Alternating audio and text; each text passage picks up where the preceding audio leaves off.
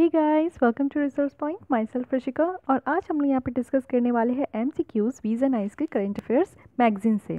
ये सितंबर मंथ की करंट अफेयर्स से आपको मिलेगी और यहाँ मैं डिस्कस करूँगी सोशल इश्यूज़ के जितने भी आपके सेक्शंस होंगे, उससे मैं यहाँ पे आपको क्वेश्चंस दूँगी ओके सो so, ये जो एम होते हैं ये आपके रिवीजन पॉइंट ऑफ़ व्यू से भी आप इसको ले सकते हो। जो भी मैं लेसन पढ़ाई हूँ आप एक बार वो लेसन देख लो उसके बाद एम सॉल्व करो। तो इससे क्या होगा कि अगर आप कुछ भूल गए हो या फिर कुछ ना समझ पाए हो तो वो यहाँ आपका कवर हो जाएगा। क्योंकि मैं हर एक टॉपिक से यहाँ पर आपको क्वेश्चन देती हूँ जो भी इंपॉर्टेंट मुझे लगता है। Okay exam of exam point of view से। सो so, आप इसे अपने टेस्ट के लिए भी देख सकते हो और इस क्वेश्चंस को आप टेस्ट की तरह आप प्रैक्टिस करो और ख़ुद को जज करो ओके सो पढ़ना और रिवीजन करना बहुत उतने ही इंपॉर्टेंट है जितना अपने को टेस्ट करना भी ओके सो लास्ट में आप अपने कमेंट बॉक्स में मुझे ये आंसर लेके बता सकते हो कि आपके कितने मार्क्स आए तो इससे मुझे भी समझ में आएगा और आप भी अपने आप को अच्छे से जज कर पाओगे।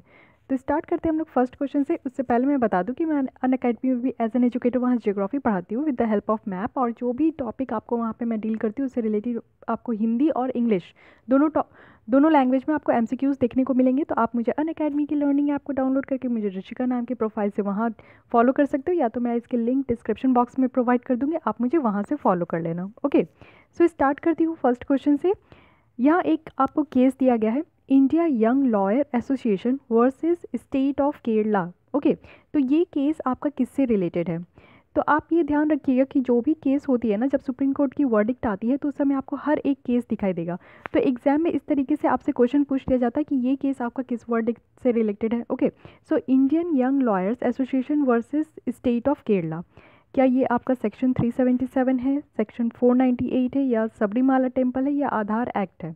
तो इसकी करेक्ट ऑप्शन हो गई आपकी सी सबरीमाला टेंपल वैसे भी आप याद रख सकते हो क्योंकि ये जो टेंपल है, ये आपका केरला में है और यहाँ जो केस है, वो स्टेट ऑफ़ केरला में है, ठीक है? तो इससे आप पकड़ सकते हो कि यहाँ आपकी ऑप्शन सी करेक्ट हो जाएगी ओके नेक्स्ट क्वेश्चन देखते हैं।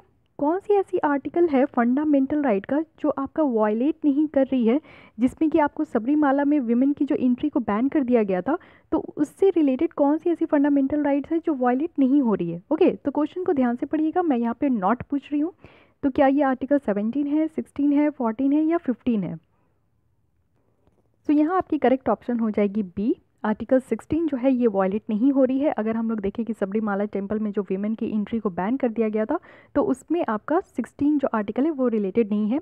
लेकिन रेस्ट ऑफ़ द आर्टिकल जैसे आर्टिकल 17 है, जो अनटचेबिलिटी से है आर्टिकल 14 है, जो इक्वालिटी से है, और आर्टिकल 15 है, जो डिस्क्रिमिनेशन से ओके तो आर्टिकल 15 कहता है कि आप किसी भी इंसान को उसके बर्थ सेक्स उसके date of birth date of place से आप कभी भी उसको डिस्क्रिमिनेट नहीं कर सकते हो ओके और आपका आर्टिकल 16 कहता है कि आप एम्प्लॉयमेंट में या फिर आप ऑफ़िस में कहीं भी लोगों को उसके सेक्स कास्ट या रिलीजन या आपका जो भी क्रीड है, उसके बेसिस पे आप डिस्क्रिमिनेशन नहीं कर सकते हो ओके तो ये सबरीमाला टेंपल में इंटर करने के लिए आपका ये एम्प्लॉयमेंट से क्या लेना देना?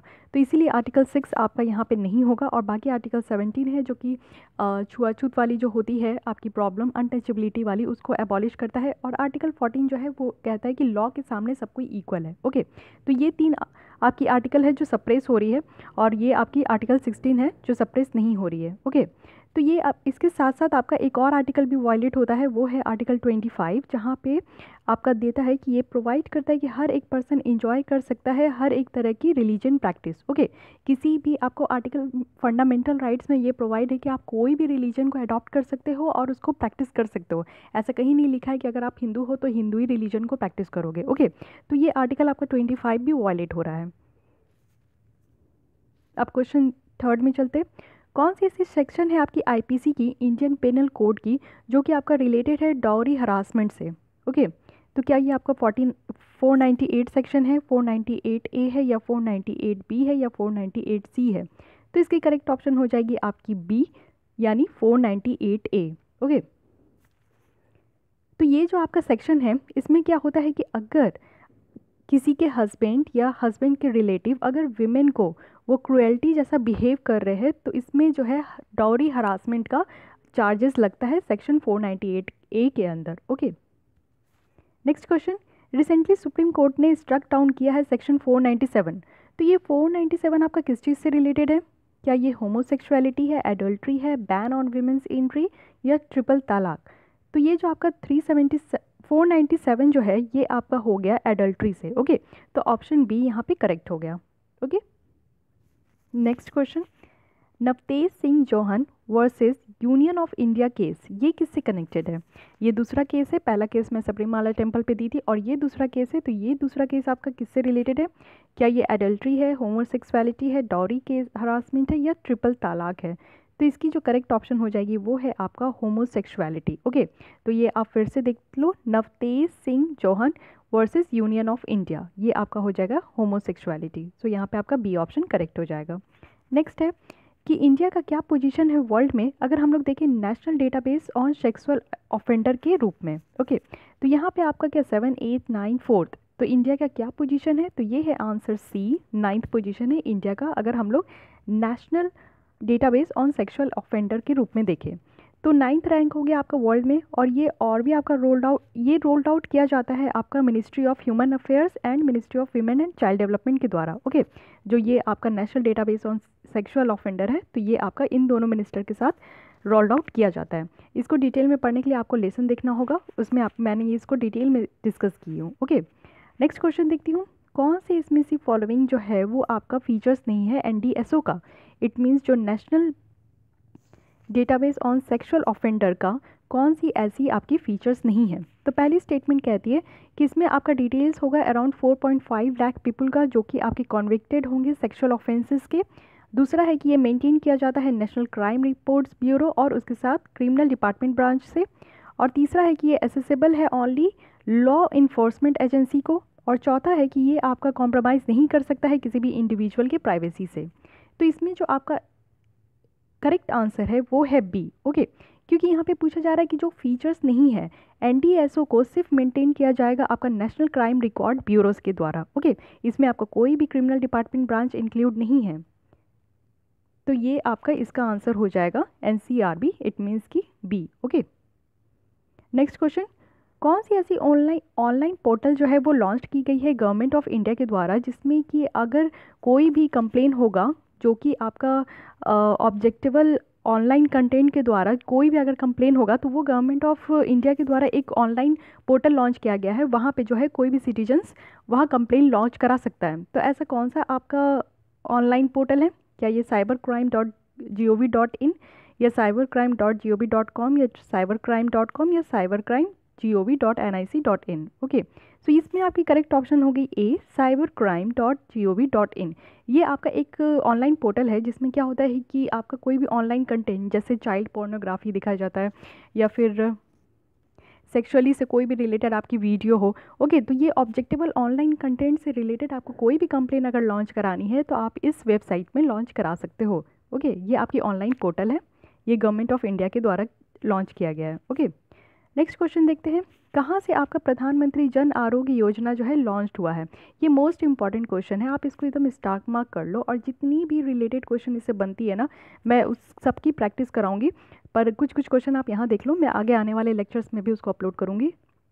तो ये कहाँ से आपका जन आरोग्य योजना लॉन्च हुआ है? तो ये आपका झारखंड से लॉन्च हुआ है, लेकिन झारखंड के किस सिटी से? ये मैं यहाँ पूछ रही हूँ। धनबाद, हजारीबाग, रांची, जमशेदपुर। तो इसकी करेक्ट ऑप्शन हो जाएगी आपकी सी रांची। ओके, रांची से ये लॉन्च किया गया है और ये वर्ल्ड का largest state funded health insurance scheme होगा, जिसको हम लोग कहेंगे Pradhanmantri Jan Arogya Yojana. Okay next question है कंसीडर द फॉलोइंग पहली स्टेटमेंट है बेनिफिशरी जो है आइडेंटिफाई किए जाएँगे as per the latest socio economic caste census S E C C data for both rural and urban area as well as active families second statement है कि जो hospitalisation होगा, वो कवर करेगा आपका in patient care to post hospitalisation care तीसरा statement है कि जो नेशनल हेल्थ एजेंसी है एनएचए वो प्रोवाइड करेगा ओवरऑल विज़न तो इसमें से आपका कौन सा करेक्ट है आयुष्मान भारत के? रिगार्डिंग ओके तो ये आयुष्मान भारत अगेन एक बहुत इंपॉर्टेंट टॉपिक है। ओके okay, ये भी सब एक ही में है। मैं इसको डिटेल में आपको लेसन में बताई हूँ। अगर आपको कोई कन्फ्यूज़न है तो आप देख लो। ओके okay, तो इसमें से कौन सी स्टेटमेंट आपकी करेक्ट है? तो इसमें आपका सी यानी तीनों स्टेटमेंट आपका करेक्ट है। ओके तो इसमें क्या है कि ये योजना जो है आपका एक कवरेज प्रोवाइड करेगा, जिसमें आपका फाइव लाख पर फैमिली को दिया जाएगा पर ईयर और यहाँ आपका सेकेंडरी और टर्शरी केयर लिया जाएगा हॉस्पिटलाइजेशन में और ये आपका लिया जाएगा network of in empanelled health care providers okay इसको ई एच सी भी भी कहते हैं। तो यहाँ पे आपका प्राइमरी हेल्थ केयर नहीं होगा, यहाँ पे सेकेंडरी और टर्शरी हेल्थ केयर होगा। ओके और हर साल आपको फाइव लाख रुपीज़ जो है पर फैमिली पर ईयर दिया जाएगा और इसमें जो बेनिफिशरीज़ होंगे, उनको सोशियो इकोनॉमिक जो कास्ट सेंसस हुआ था एस ई सी सी उनके द्वारा बेनिफिशरीज़ को दिया प्रोवाइड किया जाएगा। ओके नेक्स्ट क्वेश्चन कौन सी इसमें से फॉलोइंग जो है वो आपकी इनकरेक्ट है? अगर हम लोग बात करें ओईसीडी के बारे में, यानी organisation for economic cooperation and development तो फ़र्स्ट स्टेटमेंट है कि ये आपका इंटर गवर्नमेंट इकोनॉमिक ऑर्गेनाइजेशन है, जो कि एम करता है प्रमोट करने के लिए पॉलिसीज़ जो कि आपका इम्प्रूव करेगा economic and social wellbeing of people around the world second statement है कि इंडिया इसका मेंबर है ओ का. थर्ड स्टेटमेंट है कि इसमें आपके total thirty six members country हैं. और फोर्थ है कि ये आपका फाउंड किया गया था 1960 में. तो कौन सी इसमें से आपकी इनकरेक्ट है? तो इनकरेक्ट जो है वो आपकी है ऑप्शन बी क्योंकि इंडिया ओईसीडी का मेंबर नहीं है. Okay so guys if you like this video then please like share and don't forget to subscribe my channel. And if you have any kinds of doubt you can ask me on comment section. Thank you